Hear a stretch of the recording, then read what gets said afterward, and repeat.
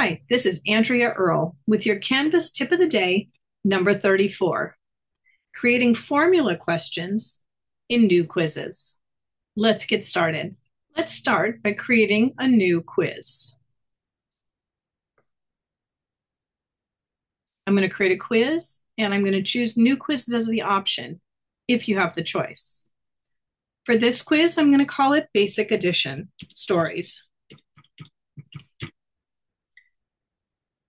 For this example, I want to give, I want my students to take a quiz practicing their basic addition skills. But I want each student to have a slightly different question. So let me show you how it works. I start by opening the new quizzes and it lands me on the settings menu. I'm going to have this quiz worth five points. It's going to be in my assessments category. Notice that the external tool new quizzes is already loaded and there's nothing I have to do there. I'm now going to slide down and click the build button. Now, if I want to change my total points later, I am going to have to go back to that settings menu to change it. I'm going to start by typing some instructions. Please answer the following questions. And I'm going to say using numbers only. I'm now going to hop down to the plus button and I'm going to choose a formula question type. For the question title, you really don't need to put anything, but it will help you sort your questions later. So I'm just going to say basic addition stories. Now here's where I put the question in. So here's my story. Sam went to the store and bought some amount of bananas. Then he bought another amount of apples. How many pieces of fruit did Sam buy in all? So I want the first number to be a number, to be something, and the second number to be something. And I want students to add those two together. Now notice I put an X and a Y for the two variables. In order to let the computer know that X is a variable, I need to put a backtick in front of and behind the X, which turns it into a variable. And you'll notice the X now populates as a variable down below. I want to do the same thing for Y. So I'm going to come up here and put the backtick in for Y. And the backtick, also known as the accent mark, can be found, found under the tilde, usually in your numeric row on the top left-hand corner of your keyboard. So now based on my students, maybe I just want them to do one digit addition. So maybe the smallest number I want them to be add is zero, and maybe the largest is 10. Or maybe I want to keep it at nine for this. I'm going to do the same thing for the second number. What's the minimum? And maybe the maximum this time will be 10, and I don't want any decimals. Now I need to write the formula, and my formula in this case is x plus y.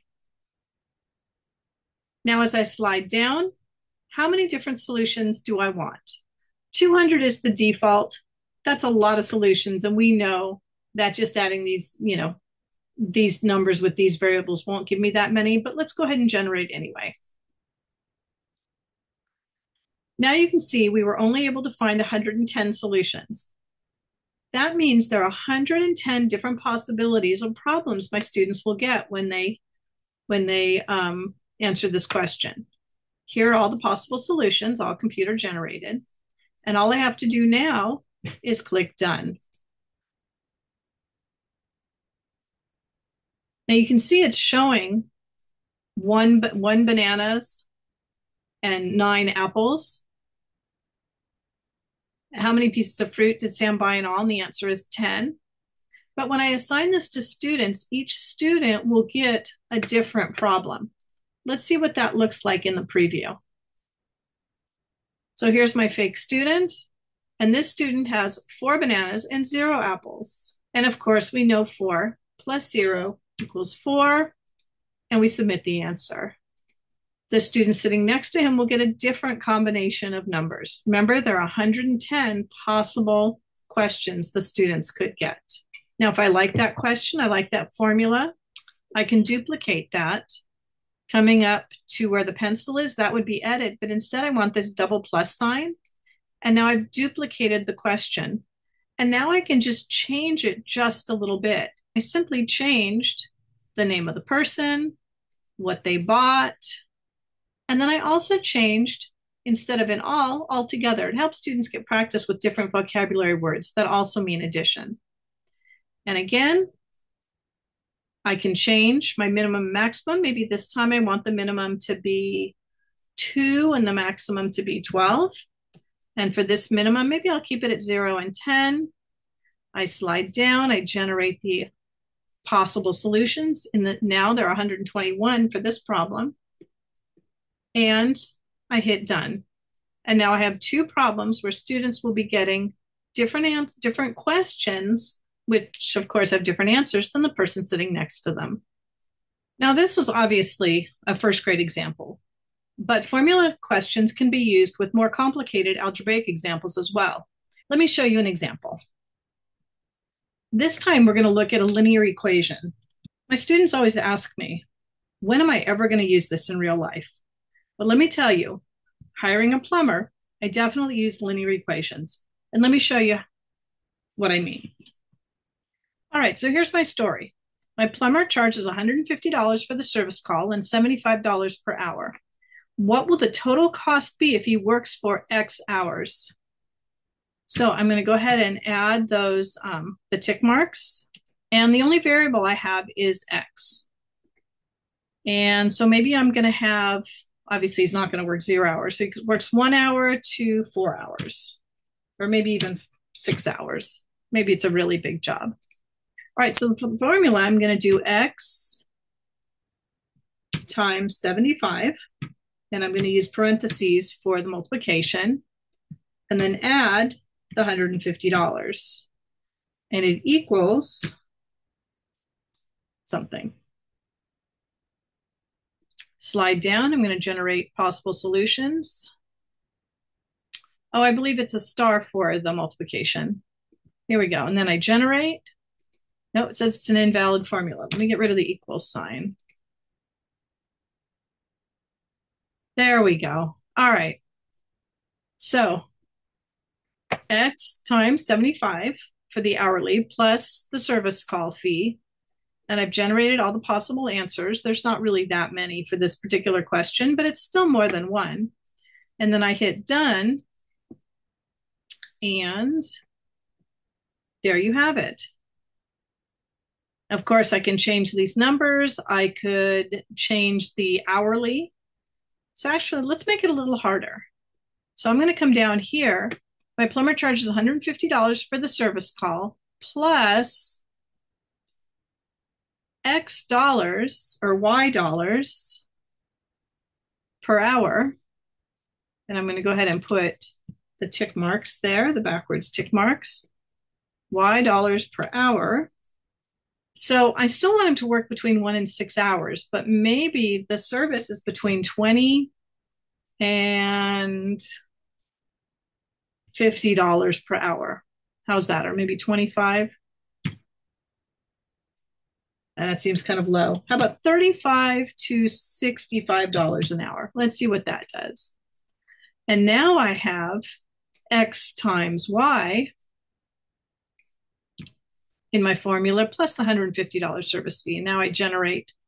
There we go. And there's all the possible solutions. So it's a lot more difficult. You can see a lot more, more options that students might receive. When I'm done, I hit done. And now I have an even more difficult question. My plumber charges $150 for the service call $60 an hour. What is the total cost if he works for five hours? And so you can see because this is um, the rich content editor in here, I could put anything I want. I could put an image of a plumber. I could, you know, do an overflowing toilet. I could do anything um, to make it more interesting. But each student's going to get a slightly different answer. The one caveat here is they will not be able to write the total in dollars. They'll just have to to say the numeric answer. So I could say, what will the total cost be for X hours? the total cost will be blank dollars. And I can do it that way. They that way they know it's just that all they're putting in there is the numeric answer. And of course I said that in the directions. Now for my last example is something I used in social studies, the presidential election cycle. It takes 270 electors to elect a president. So in this case, I said the Green Party already has X electoral votes. How many more electoral votes do they need to get their candidate elected as president of the United States? So my, for my formula, I'm going to say for X, X could be 10, it could be, um, I don't know, 115, but my formula is 270 minus X. Let's see what we get when we generate. Okay, that's not going to work, is it? So, do you see how I got negative numbers? So obviously that's not going to work. 270 minus x. Oh, there we go. Not sure what I did wrong the first time. All right, 270 minus x. And of course, make sure everything's reasonable. So maybe I want to even give them a bigger number here. Maybe start with, you know, 35 and maybe go up here to 215 just to, to add a little more variety. Every time you change the variables, the minimum maximum, you do need to generate new, new solutions. And then you hit done. And there you have it. Using the formula question in new quizzes to add variety to your math assessments. Thank you for watching.